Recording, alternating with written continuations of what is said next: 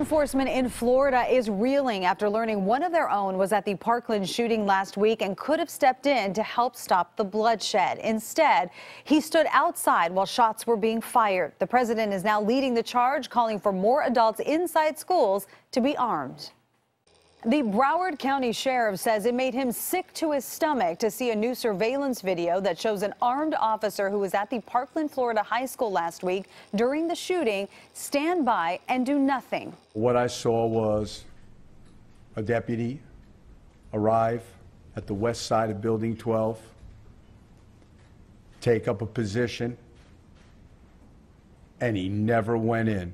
That deputy, Scot Peterson, resigned yesterday after being suspended without pay. This revelation comes on the second day in a row President Trump called for teachers and other school personnel to be armed.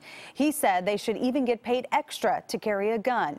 Nobody's going to attack that school, believe me, because they're cowards. They don't want to be shot at. That stance was echoed by the head of the NRA at this week's Conservative Political Action Conference. Our NFL games, our office buildings, our movie stars, our politicians.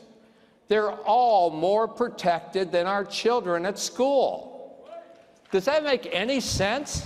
President Trump, who will speak today at the same CPAC event, broke slightly with the NRA yesterday, tweeting in part, I will be strongly pushing comprehensive background checks with an emphasis on mental health, raise age to 21, and end sale of bump stocks.